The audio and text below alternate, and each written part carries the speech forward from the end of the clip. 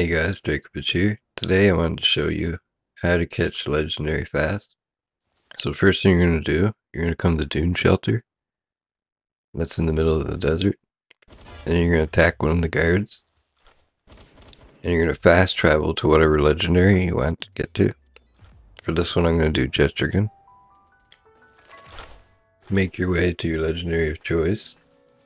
And then you're going to lure the guards to the legendary and without attacking them, you're going to want them to hit or attack you near the legendary, which will draw the legendary to attack them.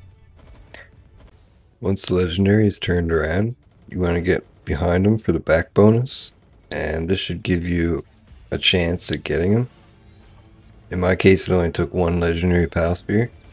Let me know how many it takes for you in the comments below. Thanks for watching.